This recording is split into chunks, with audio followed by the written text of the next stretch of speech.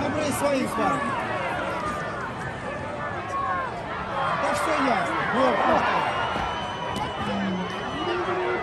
Уважаемые болельщики, при выходе с трибун не торопитесь, будьте взаимовежливы, соблюдайте правила приличия. Не забывайте о том, что среди вас находятся пожилые люди, женщины и дети. Очередной матч факела на Воронежском центральном стадионе профсоюзов состоится 14 мая. Наша команда примет клуб «Арена». Игра начнется в 19.00. До новых встреч на играх факела.